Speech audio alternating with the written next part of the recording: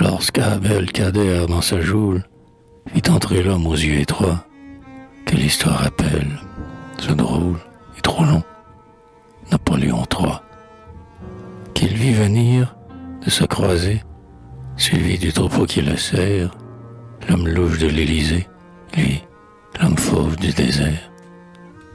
Lui, le sultan né sous les palmes, compagnon des lions roux, le hadji farouche aux yeux calmes, l'émir pensif, féroce et doux.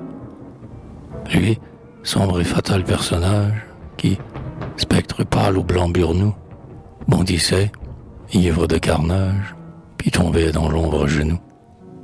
Qui, de sa tente ouvrant l'étoile, y priant au bord du chemin, tranquille, montrait aux étoiles, ses mains teintes de sang humain, qui donnait à boire aux épées, et qui, rêveur mystérieux, assis sur des têtes coupées, contemplait la beauté des cieux.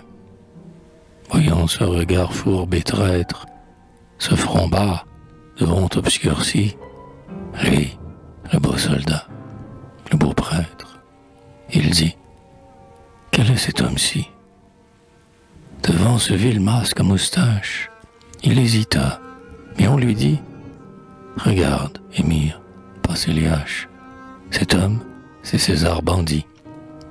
Écoute ces plaintes amères et cette clameur qui grandit. Cet homme est maudit par les mères, par les femmes, il est maudit. Il les fait veuve, il les navre. Il prit la France et la tua. Il ronge à présent son cadavre. Alors le Hadji salua. Mais au fond, toutes ses pensées méprisaient le sanglant gredin. Le tigre aux narines froncées flairait ce loup avec dédain.